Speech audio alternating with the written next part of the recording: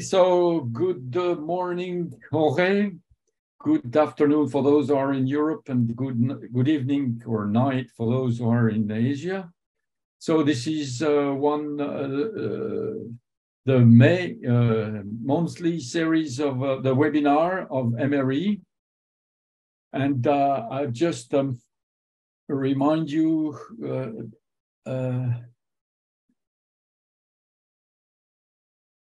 Uh, yeah. No, it's not this one. Oh, sorry. I just want to remind you exactly what is the purpose of uh, today. Mm -hmm.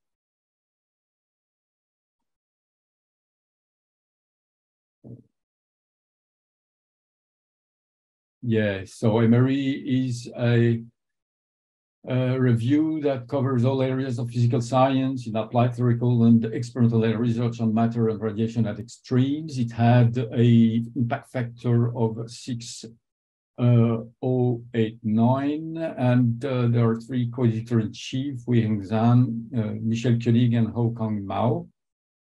And it's open to any uh, paper you want to submit uh, uh, in the next future, and you uh, we encourage you to submit papers. And today webinar will be given by uh, Jorge, uh, Jorge Hirsch, a professor at the Department of Physics at uh, San Diego University since 19, 1987, and he graduated his PhD at the University of Chicago in, nine, in 1980 and his main research interests are condensed matter physics in theory, superconductivity, magnetism, and so on. And he published already uh, 300 research papers, have an analysis of 60, and published a book in English and Spanish. Okay, uh, so uh, at the request of Jorge, if you, unless you have a very urgent question, that would prevent uh, you to understand uh, what is uh, uh in the talk. He would prefer uh, questions at the end of this webinar. Okay, so now it's up to you, Jorge, for your webinar. Uh, its title is Are Hydrides Under High Pressure, High Temperature Superconductor, which is pretty much interesting. Um, yes, this one. Yeah. No, no, just a minute. Can you see my my screen now? Yeah, This is okay now. Yeah. Oh, okay. Okay, great. This is okay. Great. Thanks. So you have 40, 40 minutes and then there will be the questions. Okay. okay? Um, I hope uh, you'll indulge if I go a little mm. over time. Um, let me let me just uh, actually change uh, a little bit in the sense that if there are questions that I mean, without go, getting into very long discussions, short questions, I would welcome them during the talk for um, okay. presentation. Um, all right, thank you very much for the invitation. Um, so let me very briefly tell you what's in my abstract. So the conventional theory of superconductivity predicts that materials with light ions can be high temperature superconductors, and hydrogen is the lightest element, so hydrogen-rich materials called hydrides under high pressure are expected to be high temperature superconductors, even above room temperature. During the past eight years, approximately 15 such materials have been found, apparently confirming theoretical expectations. However, experiments under high pressure are very demanding, as you know, and difficult to interpret. So I will question the validity of the interpretation of experimental results as evidence that these materials are superconductors and also argue that if these materials are not superconductors, it has fundamental implications for the understanding of superconductivity in all materials. And uh, these are two papers uh, that we published in MRE on these uh, topics that I will uh, be referring to as well as other work. Um, all right. So let me start with um, um, BCS theory, reminding you that, um, sorry, I'm trying to move something in my screen.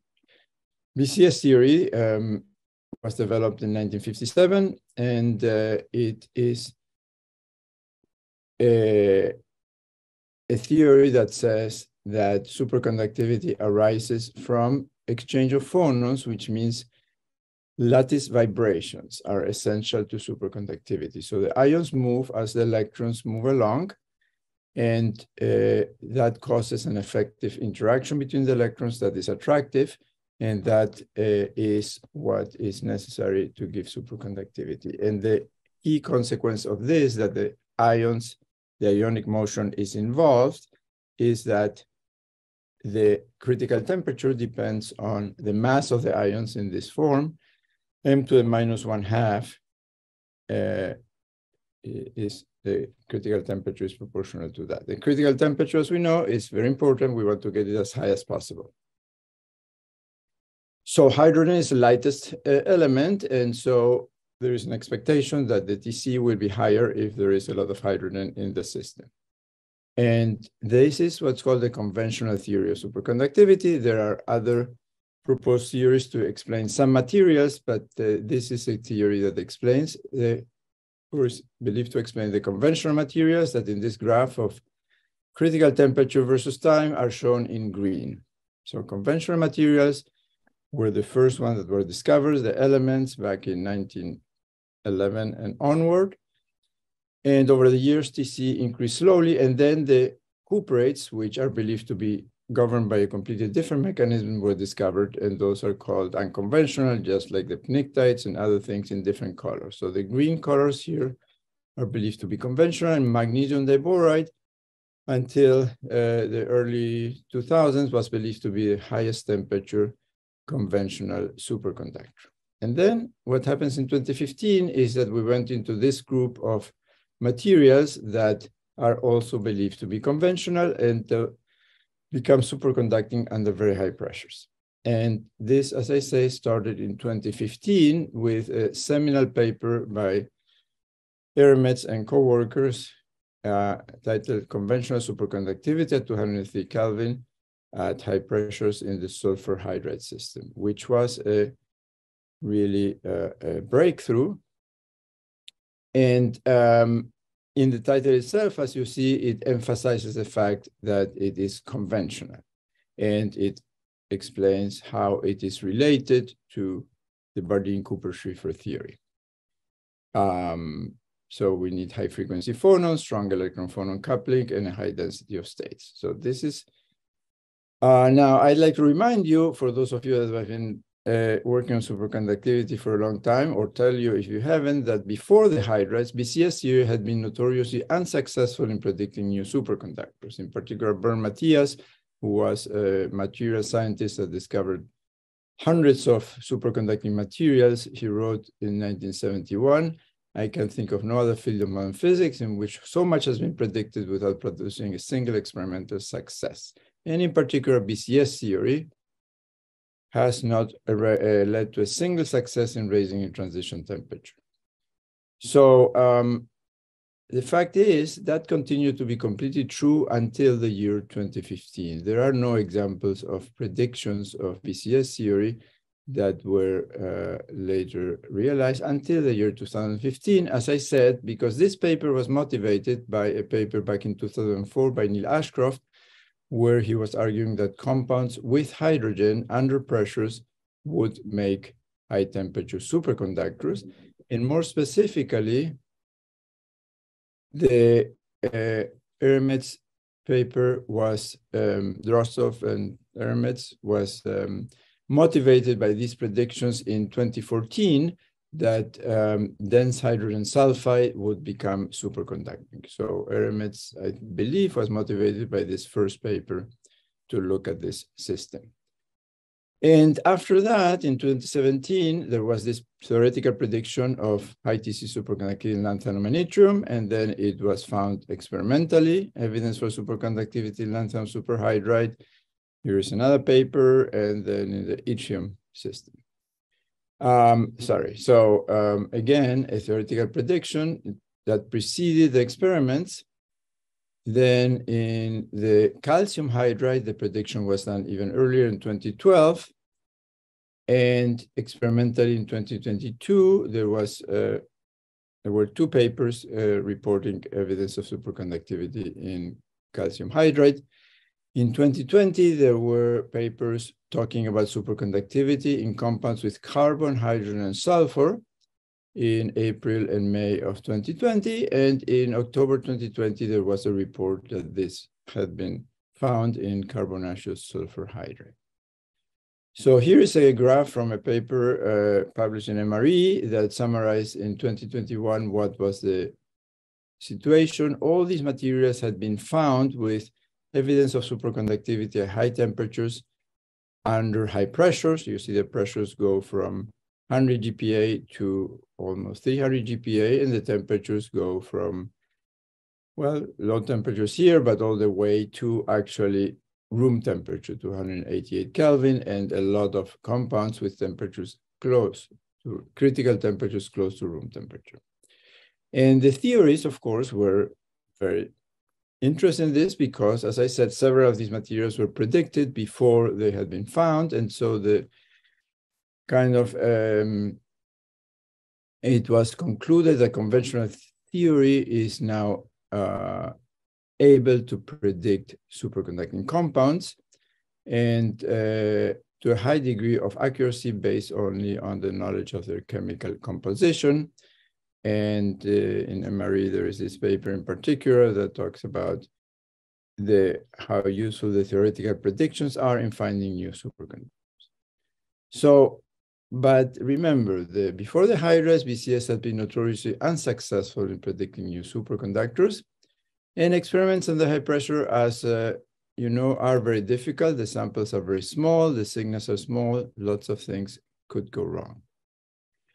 So there is something called confirmation bias, which uh, is the tendency of people to select information that supports their view, ignoring contrary information, and interpret ambiguous evidence as supporting what they expect. And that is particularly true when it's a desired outcome and certainly to have superconductivity in materials that uh, were predicted by the conventional theory is a desired outcome naturally, and it is based on deeply entrenched beliefs, which is, of course, that the BCS theory describes superconductivity in materials. So what is the evidence that there is hydride superconductivity? Well, let me just list resistance measurement is uh, one paper on optical measurements, magnetization measurements, and there is a list of magnetization measurements that was compiled in the same paper in MRE that I will talk about. AC magnetic susceptibility and uh, magnetometry results, and more after this paper was published, there is some results on flux trapping measurements. All of these have problems, I'm going to tell you. So the first problem that we discussed back in 2020 is about the resistance broadening in magnetic fields. When you apply a magnetic field to a type 2 superconductor, the width of the transition becomes larger. So this is transition uh, resistance versus temperature in magnesium diboride, a conventional superconductor. When you apply magnetic field, the transition temperature is lowered and it, the transition becomes broader both in what are believed to be conventional and unconventional superconductors. So these are the curves of delta T, the width of the transition divided by the TC versus temperature, and they look like this for a variety of conventional materials. And not conventional, what we call standard superconductors, both conventional and unconventional.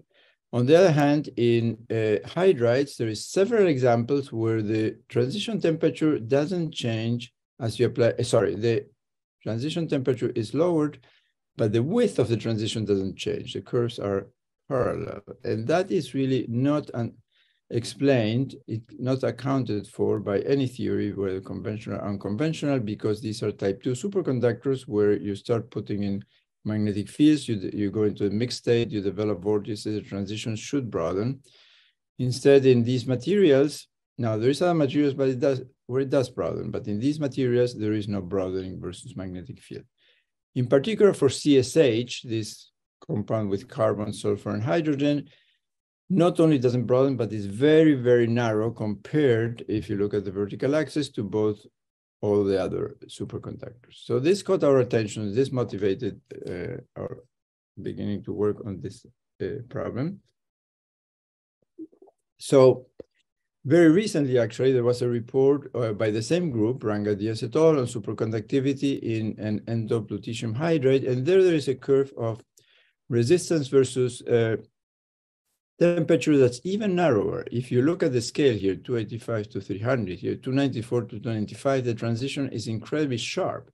If you compare it with the width of the transition in this CSH, the carbon sulfur hydride system, this transition is even 35 times narrower than the one we had pointed out is amphysical because it's much smaller than in any other non-material. And so the width of the transition comes from inhomogeneities and it comes from pressure gradients. And in particular, it's just inconceivable that a transition could be so narrow in a, in a in a, in a material under pressure in a diamond vessel, and more generally, even if it wasn't under pressure. So I believe there is no question that something like this cannot be due to superconductivity. It's impossible.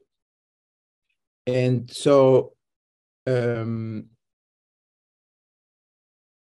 here is other examples of the uh, resistance versus temperature for Ranga Dias uh, and his group work in this is another curve where here it doesn't look so narrow. So you may say here it's okay, it's plausible. In CSH, I showed you curves where it was very narrow. Here again, it's broader. You may say it's okay. Uh, this is another report that uh, the group uh, Ranga Dias gives in talks of uh, another uh, superconductor at room temperature. This is yttrium. So some of these, the broadening is okay, but some of them it's not. So something is going on in this lab. In this lab, for some reason, the resistance drops, for sure, in some cases, in reasons unrelated to superconductivity. And then you may ask in other labs where people also see drops in resistance, now they are not so narrow, but they qualitatively don't look very different, whether there is the same reason that causes resistance drops under high pressure in these diamond anvil cells over here, would cause it also in the other cases. And if you look more generally at resistance in H3S, which was the first discovered material back in 2014 or 2015, over the last eight years, we see all kinds of behaviors for the same material. For example, in the normal state here, the slope is positive, so the material is a metal, but here the slope is negative with temperature, so it's more like a semiconductor. Then the in this one, it kind of has this very strange behavior. You can see that if we look at pressures around 145 GPa, it goes to zero depending on the material at all kinds of different temperatures. Uh, sometimes it doesn't go to zero in this very recent uh, recent work in 2022. It never went to zero, nor in this one. So it's all kinds of behavior. In other materials also, there is these strange oscillations that you see in the resistance that are not expected because of superconductivity. So um, going back to this lutetium hydride, one has to wonder about background subtraction because, for example, here, they show these curves that seem to show zero resistance, but when you look at the raw data, you find that in fact, the resistance curves look like this. And it's only after you subtract something that they suggest superconductivity. Sometimes we don't know whether subtraction took place or not. In this other paper, in the yttrium system, it also looks like it goes to zero, but there was a subtraction. When you take away the subtraction, it actually goes just a 10% drop very far from zero. Uh, this is another thing that happens in lutetium hydride. When you look at the voltage versus current, you find that it's basically continues from zero. There is no critical current, and you're very far below TC. In fact, for YBCO and any other superconductor, when you are even close to TC, when you start cooling, there is a region of zero resistance, and then it takes off. So um, there is strange things going on in resistance. Now let's talk about magnetic evidence. Um, going back to this list, it is also difficult to know how the data are being processed, whether background is being subtracted, etc. Let me give you one example that we studied very much, the susceptibility measurements in sulfur hydride. Um, they used a user-defined background to subtract the behavior of the background, which is the blue line here. We did an extensive work on this uh, with uh, Dirk van der Marel, and we concluded that it basically impossible that this is measured in the laboratory, that with probability, mathematically, we show larger than 1 minus 10 to minus 38. These data were not measured in the laboratory. In fact, we can calculate them in our computer and what seems like it's signaling a transition, in fact, we can calculate in our computer and get the same answer to eight digit accuracy. So if we can calculate them, they are not measured with a voltmeter. Now, this is an extreme example, but it illustrates the dangers of just looking at the curves and not looking at what is being subtracted. In this example, by um, the group of Eremets, if you look at these curves of magnetization moment versus magnetic field, um, they are the same quantity. And if we look at these curves, they are for the same temperature. And the curves actually are different. And this is what the actual data look like when we plot them in the same plot.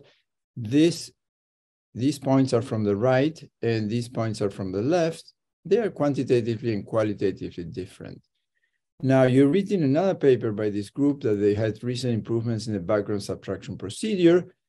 And they say that this is explained in this paper. However, the paper doesn't explain any of that. And so we actually asked the authors to explain. That was six months ago, and there was no response. We asked the author to send us raw data to understand what's going on. There was no response either. So there is a clear procedure going on in going from this to this that we don't know what it is. All right, here is a list of a lot of experiments on magnetic evidence, basically all of the experiments that have been done. All of them on sulfur hydride and the lanthanum hydride look similar. And let me try to explain some of this. Um, the point is, even though the experiment, one experiment may look convincing when you look at the relation between all these experiments, there is problems. So let me start actually with this experiment that was um, done by this group uh, or AC susceptibility in sulfur hydride. I wrote a comment on this a couple of years ago saying that this evidence was faulty. And there was a reply to the comment. So the evidence was that in the AC susceptibility, there are these drops that were interpreted as superconductivity. I asked for the raw data and I looked at the interval in temperature where these raw data were taking that are the red points here, and the raw data themselves are the blue points. So if you look at the raw data, there is a kink here that signals the superconductivity that gets amplified after you subtract. But if you look at this interval in temperature, you see that there is a change in delta T right at the same point where there is a kink in the raw data. And so I pointed this out in my comment. The authors wrote a reply to the comment saying that this actually is not, this change in delta T is not affecting the detection and that there's no relationship between the superconducting signals and the delta T breaks. And all I can say is that I don't understand this because in my mind, there is clearly a relationship between this point and this point. They happen exactly at the same temperature. So this I would call, I call is an example of confirmation bias because you expect this to show superconductivity. You don't pay attention to this fact that experimentally you're doing something right at the point where you conclude there is superconductivity. Now, let me talk about this uh, very quickly. These are measurements in 2015 and 2022 of magnetization. Well, first of all, uh, so this in collaboration with uh, Frank Marsiglio, this and a lot of other work. There is no signature in the transition under field cooling, the red curves, and the zero field cooling moment that is not really supposed to be very sample dependent, and these samples were approximately of the same size, is very different. It was much larger back eight years ago than it is now, where the samples are supposedly better and bigger. Uh, in other uh, graphs, we see that magnetization has all kinds of different size drops and the temperature dependence is horizontal, going up here, going down here, and so on. The, when we look in detail at the transition, the paper says that there is subtle evidence for the Meissner effect in the field cool curve, but when you look without drawing this blue line, I really see no evidence whatsoever for any Meissner effect. And what you, they also find is that before heating, before the sample is supposed to be superconducting, there is also divergence between the field cooled and the zero field cooled. So what is this? Is this a Meissner effect without superconductivity? Because we know that this is before the sample can be superconducting. Now, let me show you about this nuclear resonance scattering experiment that was supposed to prove superconductivity related to this other experiment. So this was an experiment done back in 2016, where the point was that it was um, claimed that the uh, signal from these resonating nuclei didn't change at, lo at low temperatures because the magnetic field was being kept out of the sample, and only at higher temperature did it change. And this was a magnetic field of 0.68 Tesla, a very large field. And so it was concluded, it shows that it doesn't penetrate the sample. That means it's a hard superconductor with a very large critical current. And this is evidence for superconductivity. Now, if we look at this later paper on the same material, you find that you apply a magnetic field, the susceptibility, according to this graph, is negative. It's a superconductor, but then at 100 Tesla or 100 millitesla or so, 0.1 Tesla, it starts to penetrate and magnetization goes down. So if it's a hard superconductor, first of all, it's not expected that the magnetization would turn around so fast. It's expected that it would either decay slowly, like in a type 2 superconductor, or continue to go down as you go beyond the lower critical field. And in addition, as I say, the fact that it penetrates is inconsistent with this experiment where it's claimed not to penetrate. Um, let me show you now relation with the trap moment experiments. In here, what they do is they apply a magnetic field. And so they first cool, then they apply a magnetic field, and then they remove the field and they measure the moment that has been trapped. And for 0.68 Tesla, the result is that under the zero field cooling, about 80% of the maximum moment is trapped. And again, if the magnetic field in this experiment doesn't penetrate for 0.68 Tesla, how can it be that here it not only penetrates, but then when you remove the field, it remains trapped? It's inconsistent. If the field doesn't penetrate, it cannot get trapped. There is another inconsistency here, which is that the behavior of the zero field moment versus uh, magnetic field is linear. And that is really not possible because according to our understanding of hard superconductors, if you apply the field and then remove it, you get a moment that is going to be proportional to both how far the field was penetrated before you removed it and to the height to the field itself. So it should be quadratic in the field and not linear as it shows. So we wrote a paper in here where we discuss why this is actually evidence against superconductivity but something else is trapping the moment, is not superconductivity. Um, more about this graph, where um, it's inconsistent with the trapped uh, field because here there is no evidence that the field is penetrating at this value of the field, while here it starts being trapped, so it's penetrated, so cannot be excluded and being trapped. And um, here it continues to be linear with field. So there is no evidence. So here it starts penetrating, but here it's linear without any evidence that anything happens here at the lower critical field. So here's another example I wanted to discuss. These are hysteresis measurements that claim to show behavior typical of a superconductor. But then when we compare it to the magnetization measurement, and these are on exactly the same samples by the same group, if you put them, they are these, I'm going to pick the curve here for 100 Kelvin and the curve here for 100 Kelvin, they look like this. The magnetization from here uh, and the hysteresis loop from here are the curves I'm showing here. And this that makes sense. The magnetization curve versus field should join the hysteresis loop, just like in this example where magnetization joins the hysteresis loop. And so if the magnetization does this, how can you ever get this behavior? So inconsistent. Uh, these are the AC susceptibility measurements for sulfur hydride. Uh, this paper actually was retracted last year, so we won't discuss it any further. So let me discuss the following graphs here. Oh, sorry.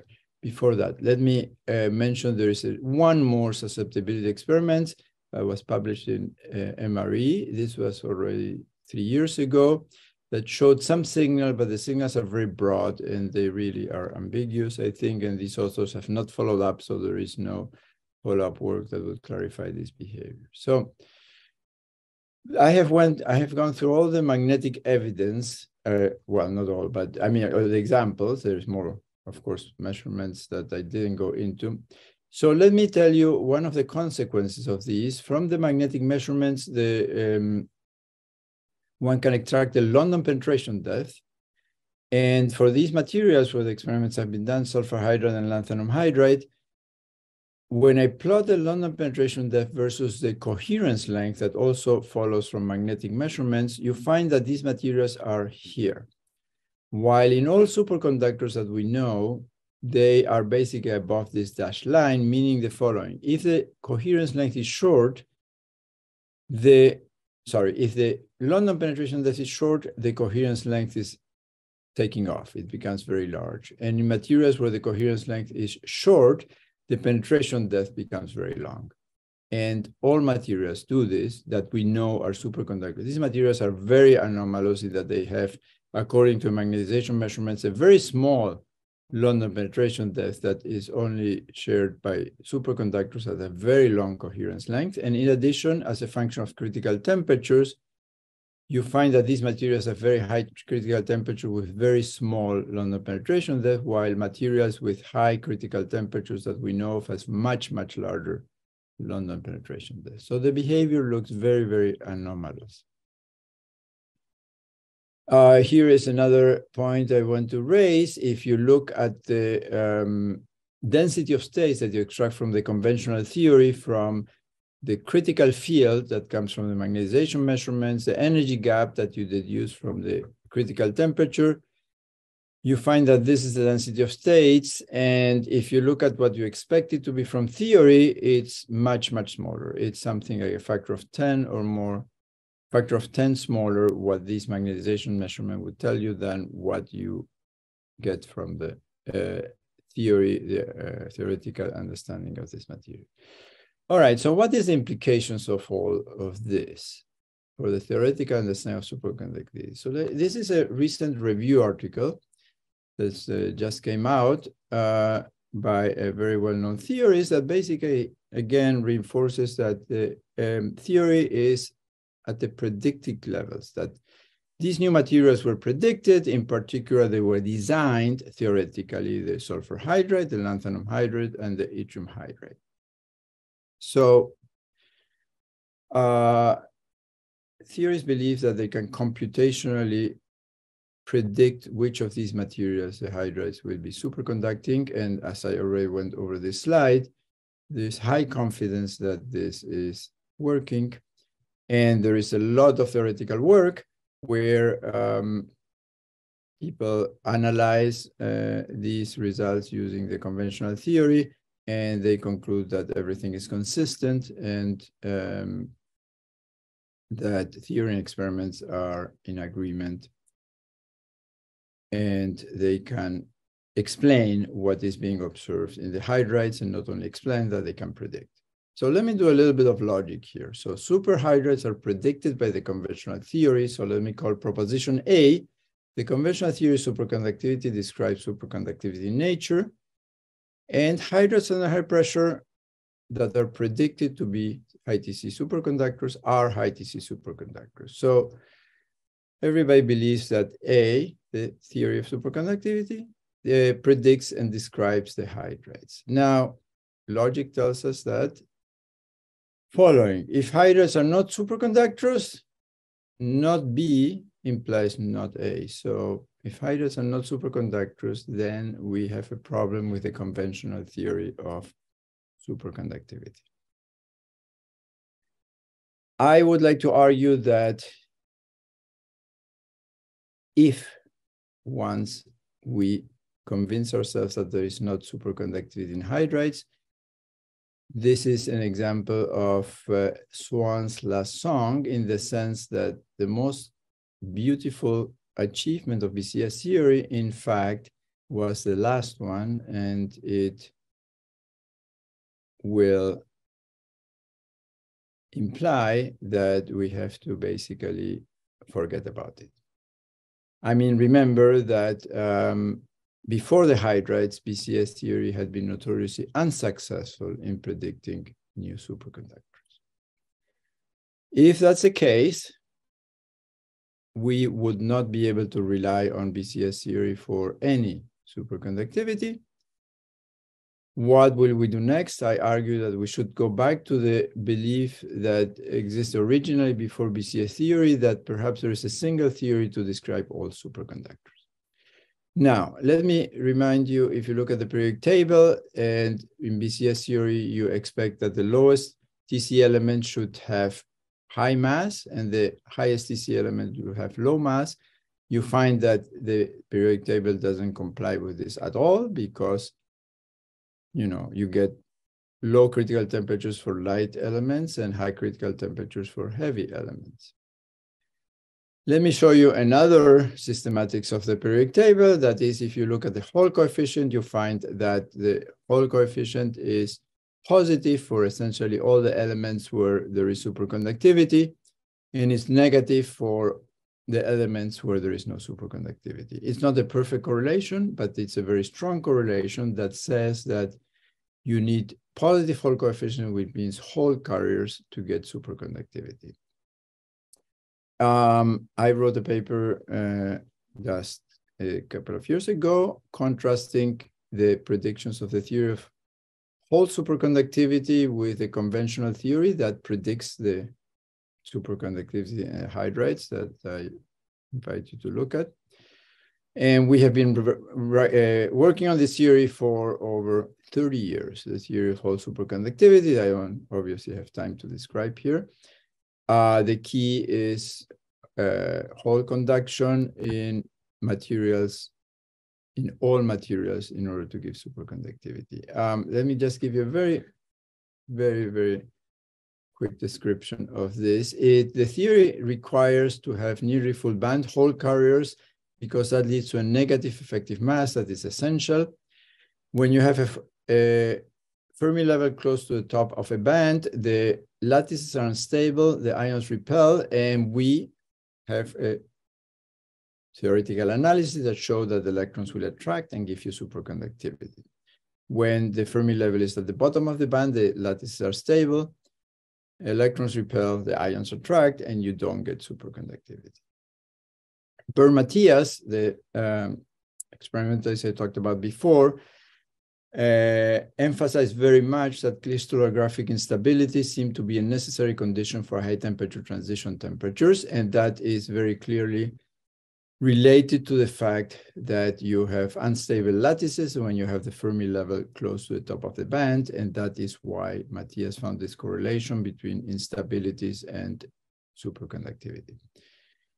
And pressure can play a very important role in stabilizing unstable lattices, of course, and create favorable conditions. So pressure uh, is a naturally a very useful tool to look for compounds that would be unstable otherwise. But phonons and light ions, according to this theory, are irrelevant. What is relevant is positive Hall coefficient, negatively charged anions, and for the atoms to be in close proximity. So let me go through a quick summary and I'll be done. The current consensus is that hydrides are uh, superconductors due to a strong electron phonon interaction and to a high phonon frequency, and that gives their high TC.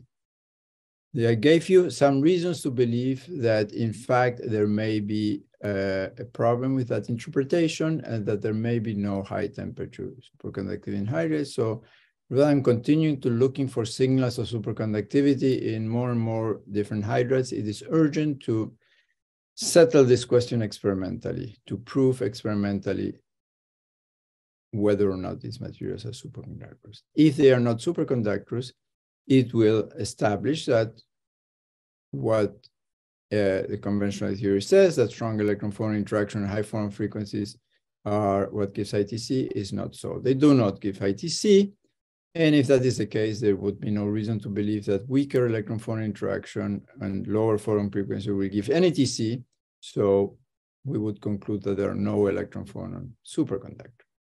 Now, as I told you before, in this alternative theory, high pressure can play a key role in finding new high temperature superconductors, but we have to look in the right places, and those would not be materials with a lot of hydrogen, nor in fact materials with uh, light ions. We want to look for systems that have hole carriers, negatively charged anions in close proximity uh, that would be stabilized by pressure, and that's where we would have a chance to find highest temperature superconductors. All right, I've come to the end of my talk. I think it's about the right time. Thank you very much. Thank you very much, Jorge. So is there uh, any questions? It's Very nice. I must admit, I'm far from this field, so I'm not sure to be able to. Uh, Dieter, do you have any question? Yeah, uh, uh, I, I, actually have a question. um, so if it is not superconductivity, what is the reason for the uh, uh, steep decrease in, uh, um, in, in resistance in, in the experimental data you showed?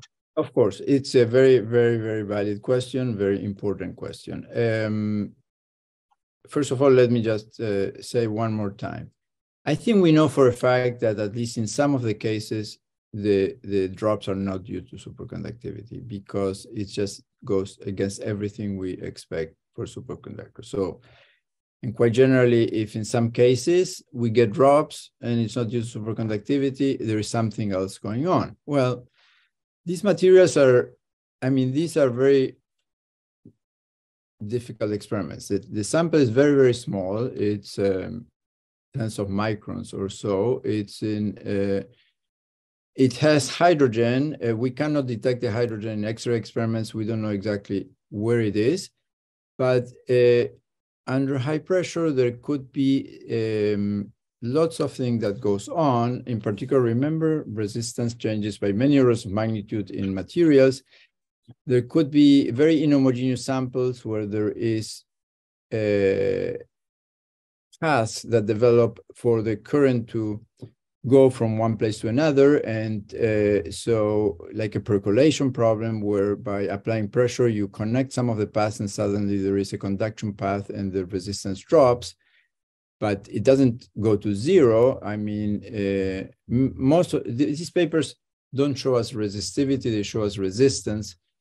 And so there's really no proof that the resistance is clearly smaller, in my view, that what you would expect for just a metallic path in a, in a, in a, in a normal metal at those temperatures.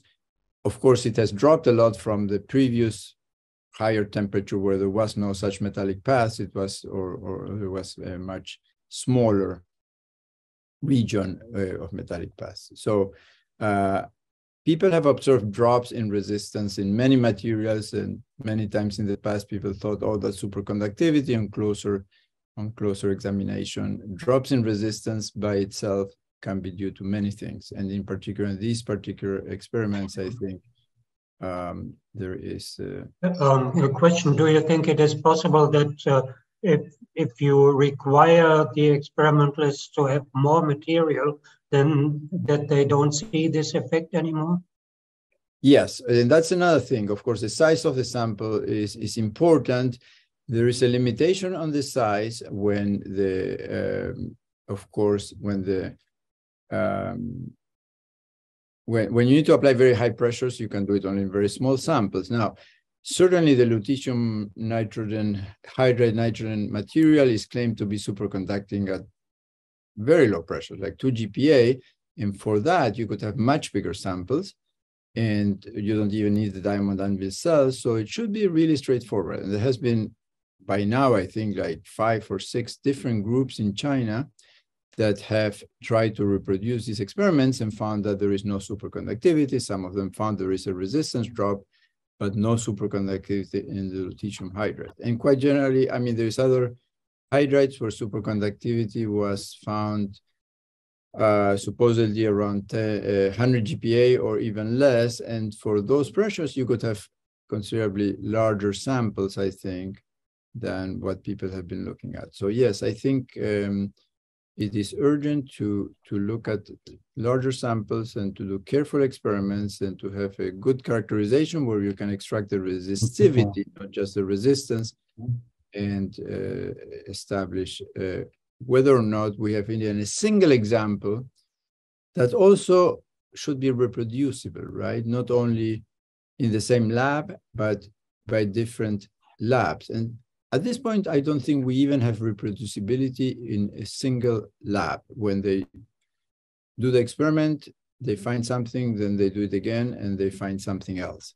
And um, in this latest report of superconductivity lutetium hydride, they tell us that they do exactly the same protocol to make the sample, and only like a third of the samples are superconducting, and the rest is not. And within the ones that are, the width of the transition in that paper changes by a factor of a thousand between two different samples prepared with the same protocol. They attribute when it's broad to inhomogeneity. So how can you suddenly make a sample that's a thousand times more homogeneous than another sample? Um, and this, so, so the, in other, you know, certainly in the cuprates, for example, there were some problems with samples initially, but within a few months, the you know the the sample quality had improved very much, and of course there was no question. Here It has been eight or nine years since these class of materials are claimed to be superconducting. The quality of the samples, as I showed you in the graphs of resistance versus temperature, does not seem to be getting better and more reproducible. Okay. Thank you. Any other question? Uh, um, hi. Um, I have one question. Yes. So I was just wondering, is is there like any real life application uh, using the, the hydride rich material as a current level of research? Is there any real life application of uh, superconductors, uh, of the hydrides in particular? The answer is uh, except for the latest one, the lutetium hydrogen uh, nitrogen hydride, I would say no, because at pressures of 100 GPa or more, you can uh, do only very small samples. I would say the there's essentially no no applications. Uh, for the material that was claimed recently at uh, one or two GPa, yes, there would be uh, applications, I believe, in, in a variety of contexts. But I think it's premature to think about applications until we know for a fact whether or not we're talking about real superconductivity. Remember, superconductivity is a very, very qualitatively different state of matter. And so just drops in resistance, the fact that the resistance is dropping by two, three, even four orders magnitude means nothing. Superconductors uh, allow for currents to circulate for years or centuries or millennia. When you have a superconducting ring, the current stays there forever. So it's a qualitative different state of matter. It requires microscopic phase coherence, so quantum mechanics at a microscopic scale. We don't have a proof that these materials are superconductors.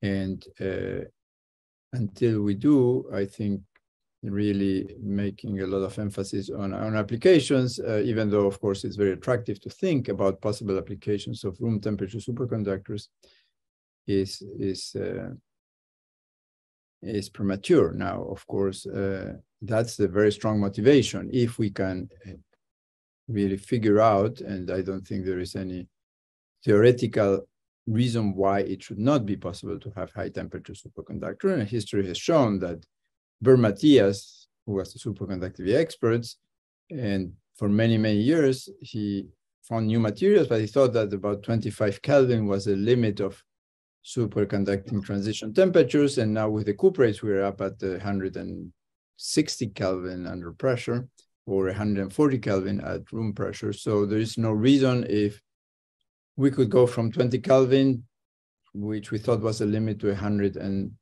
140 or 50 Kelvin, that there is a path to room temperature superconductivity, but uh, we need to find it.